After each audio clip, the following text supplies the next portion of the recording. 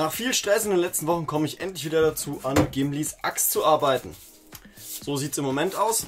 Und es wurde in den Kommentaren gefragt, ob das da oben so silber bleibt. Nein. Ich werde heute mit verschiedenen Lackschichten, vor allem mit Bronze, arbeiten, dass ich dann diesen Bronze- bzw. Gold-Look da oben bekomme. Da die Bronze aber ein bisschen zu hell ist, wenn ich die alleine sprühe, werde ich immer wieder dann mal eine schwarze Schicht mit aufbringen, beziehungsweise einen feinen Nebel drüber fliegen lassen und dann mit verschiedenen Washes durch Schwämme beziehungsweise durch Stahlwolle die obere Lackschicht wieder runterkratzen, um danach quasi diesen Used Look rauszubekommen. Derzeit ist der ganze Teil hier oben mit einem Hammerschlag Effektlack überzogen, der jetzt einige Zeit trocknen durfte, so dass der auch beim drüberwischen mit irgendwelchen Schwämmen dann auch wieder rauskommt. Das einzige, wo ich ihn wieder quasi dann runterschleifen muss, ist hier an den Klingen, dass die Klingen glatt werden und dann aussehen, als wären sie von irgendeinem Schleifstein geschliffen worden. Ist aber gar nicht so schlimm, wenn der drauf ist, weil dann kann ich nämlich tatsächlich dann mit Schleifpapier drüber, beziehungsweise mit Schleifschwämmen. Dann sieht es vielleicht, hoffe ich jetzt einfach mal, wirklich aus wie eine geschliffene Axt. Ich werde mich hier aus diesem Keller heute kaum rausbewegen, da ich nämlich eigentlich nur noch lackieren muss. Allerhöchstens mal zum Schleifpapier holen, das war es dann aber auch.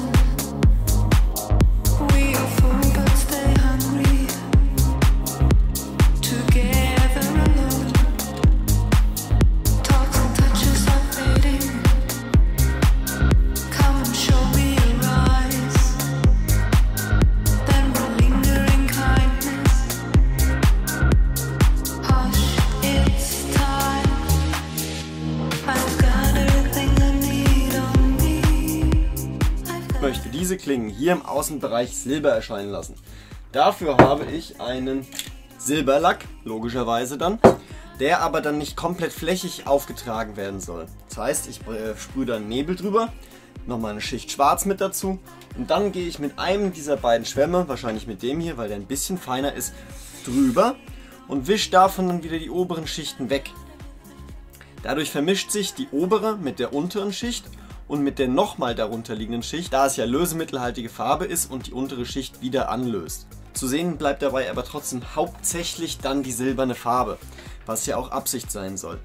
Hier, ab dem Bereich, soll es ein bisschen dunkler sein, bis dann hier in der Mitte richtig hell wieder wird. Also quasi wie poliertes äh, Bronze oder ja, Messingmäßig. Das heißt, ich arbeite mich außen von den Klingen nach innen hinein um dann später, nachdem ich alles an Farbschichten aufgetragen habe, diese Vertiefung überall auf der Axt mit Schuhcreme dann rauszubekommen. Das heißt, ich nehme wieder eine dunkle Schuhcreme, so wie ich die bei Harley Quinns Hammer benutzt habe, gebe die auf und wische die danach mit dem Lappen ab.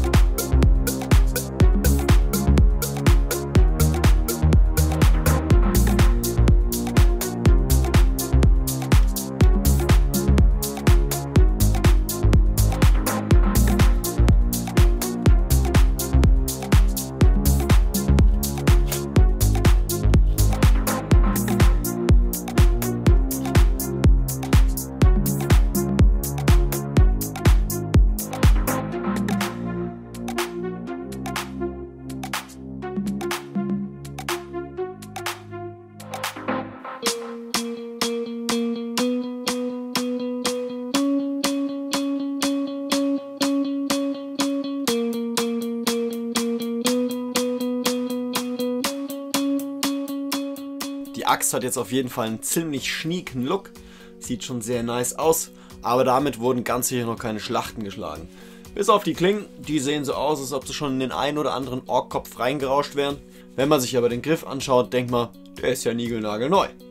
Dem werde ich jetzt Abhilfe schaffen, indem ich das ganze Ding mit Schuhcreme einpinsel. Ich lasse die Schuhcreme aber nicht drauf, sondern schnapp mir direkt danach einen Lappen und wische das meiste und gröbste wieder runter. So bleibt die Schuhcreme nur in den tiefsten Ritzen hängen und gibt dem Ding eine Patina, als ob in diesen Ecken einfach noch nie geputzt worden wäre. Day.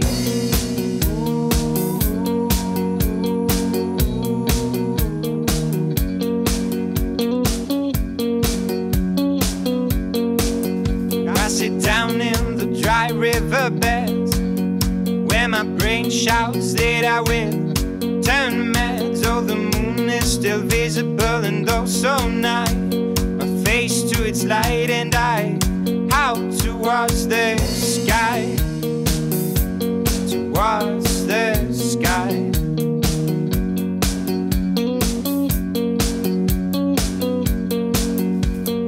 I'm back on my feet walking Vice is also disgusting. Virtue's just there to confuse. So when alcohol is my prostitute to abuse.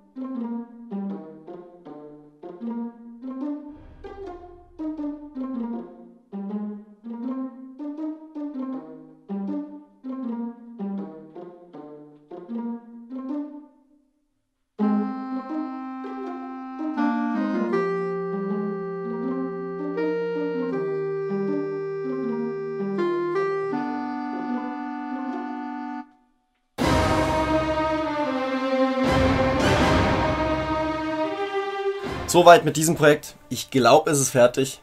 Nein, es ist fertig und es ist mit Abstand mein bestes Werkstück, finde ich. Gut, vielleicht noch das Buster Sword, das ist noch ein Stück schöner. Und da haben sich auch einige gewünscht, dass ich mal wieder ein Reinholzprojekt mache, weil sie sich beschwert haben, dass hier jetzt das richtige Holz nicht mehr sichtbar ist.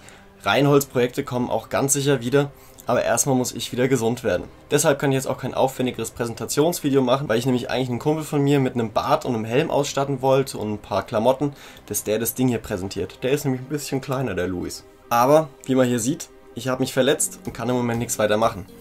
Das ist jetzt nicht der Grund, warum ich auf Rocket Beans TV erstmal nicht mehr senden werde. Dieses Video ist nämlich das letzte, das vorerst auf Rocket Beans TV gelaufen ist. Ich werde denen immer wieder Material schicken, aber solange ich in der Meisterschule bin, kann ich einfach nicht garantieren, dass ich regelmäßig, also jede Woche ein Video liefern kann. Aber sobald es was gibt, kommt es auf RBTV und natürlich auch wieder ganz normal bei mir auf dem Kanal. Die Meisterschule wird nämlich sicherlich ein wenig Zeit in Anspruch nehmen, gehe jetzt mal davon aus. Und das mache ich ja in Würzburg da habe ich sowieso keinen Zugriff auf meinen Keller, wo ich dann jeden Abend mal irgendwie runtergehen kann. Aber so das ein oder andere Projekt werde ich auch in Würzburg starten können. Ich habe nämlich vor, Amons Maske aus The Legend of Korra nachzubauen.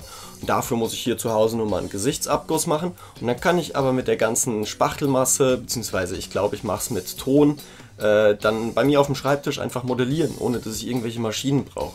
Und das ist, glaube ich, ganz easy. Da werde ich auf jeden Fall noch irgendeine Methode finden, dass ich noch ein paar Videos mache, weil mir macht es ja alles viel zu viel Spaß, als dass ich das jetzt komplett aufgebe. Nur wird es einfach halt ein bisschen weniger werden. Zurück zur Axt. Lasst doch mal was unten in den Kommentaren da oder sagt mal auf Twitter Bescheid, wie ihr die Axt findet. Dann würde es mich freuen, wenn wir uns demnächst wiedersehen. Vielleicht ja auch in einem Livestream aus Würzburg. Mal schauen. Und dann sage ich jetzt, haltet die Ohren steif und tüdelü.